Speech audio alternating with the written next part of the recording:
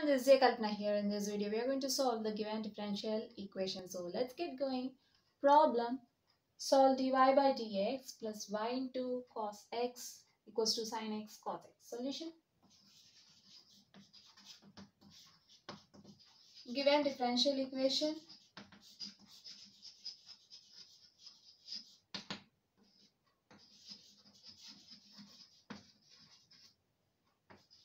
dy by dx plus y cos x equals to sin x into cos x or sin x cos x which is in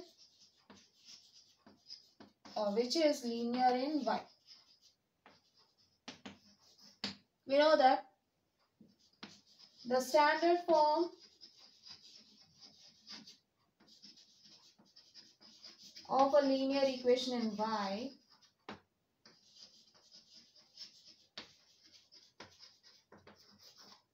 is dy by dx plus p into y equals to q. Right. So here the coefficient of dy by dx is 1, right? Fine. So by comparing these two, we can say that the given equation is in linear form. Also, we'll get P and Q. Simply by comparing these two equations, we'll get P and Q where P equals to cos x and Q equals to sin x cos x. Now we need to find integrating factor. Okay, we know that the integrating factor of linear equation y is given by e power integral p dx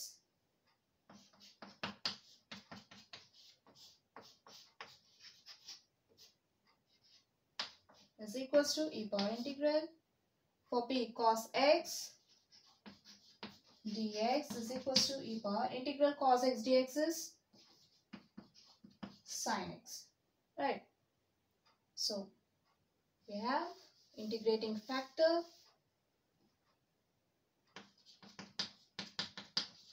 x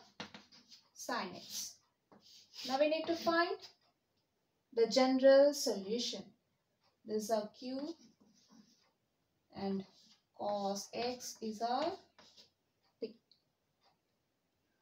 Now we need to find the general solution to the given equation. We know that the general solution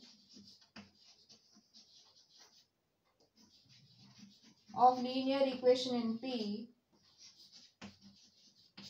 sorry of linear equation in Y is given by y into integrating factor equals to integral q into integrating factor into dx plus c. Okay. So using this formula we'll find the general solution to the given equation. The general solution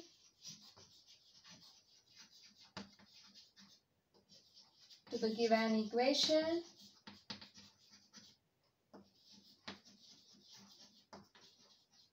is y into integrating factor e power sin x equals to integral q.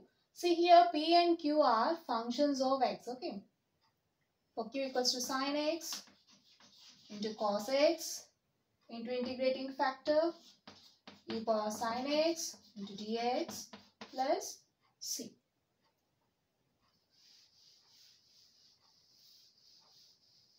Now we need to evaluate this integral, right?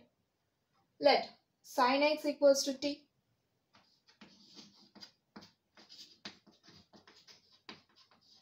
Now differentiate on both sides with respect to x.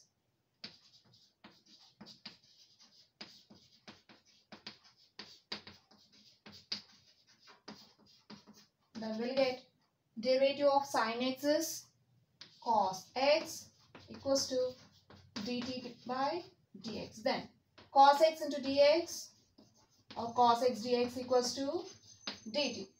Now we can replace cos x dx by dt and sin x by t.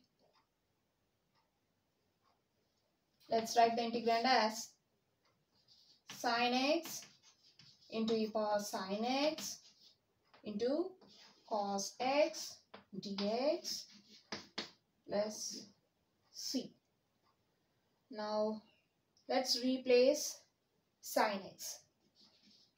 Put sin x equals to t and cos x dx equals to dt. Then this becomes integral t e power t cos x dx can be replaced by dt plus c.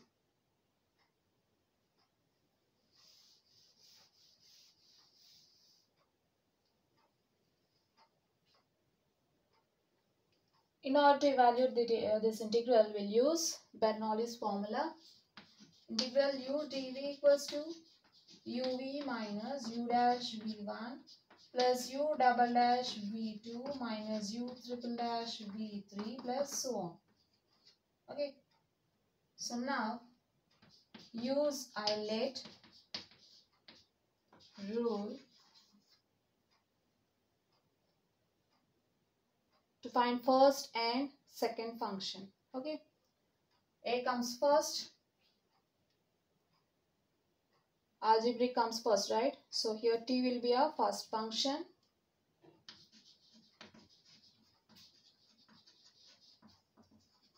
And exponential comes next.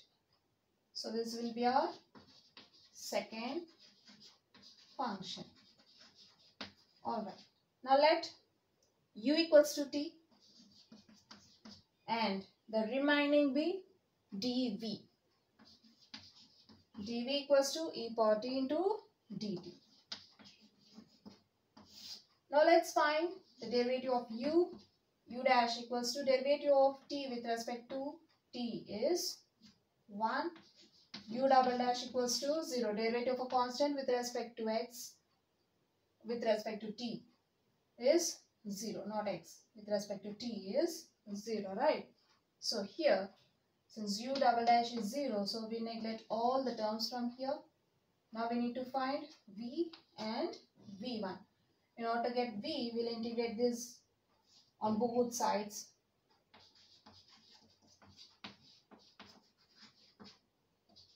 Then you'll get v equals to integral e power t dt is e power t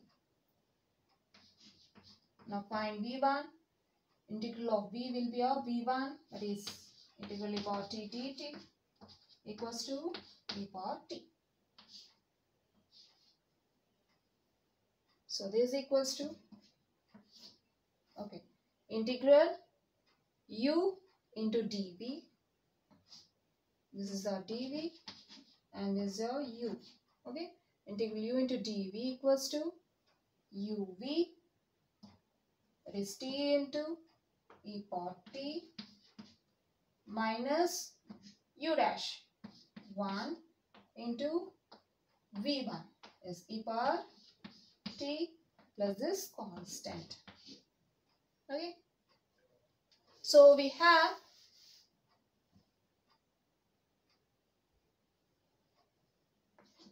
y into e power sine x equals to t e power t minus 1 into e power t is e power t plus c. Now put t equals to sine x.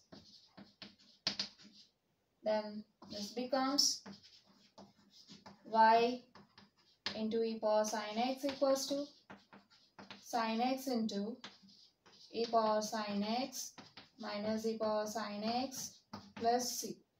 You can take e power sine x common from these two terms. Then you get e power sine x times sine x minus 1 plus c. Then you can take this e power sine x to RHS. You get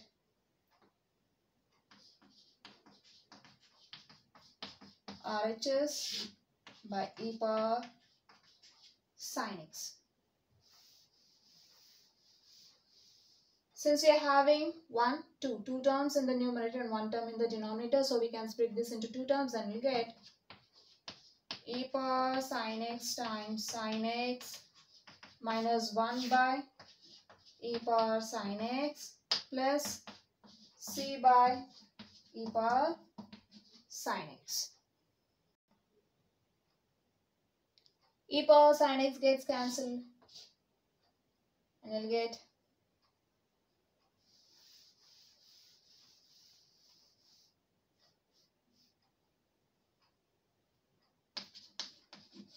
y equals to sine x minus 1 plus c by e power sine x which is the required general solution or or the previous term y times e power sine x equals to e power sine x times sine x minus 1 plus c is the required general solution.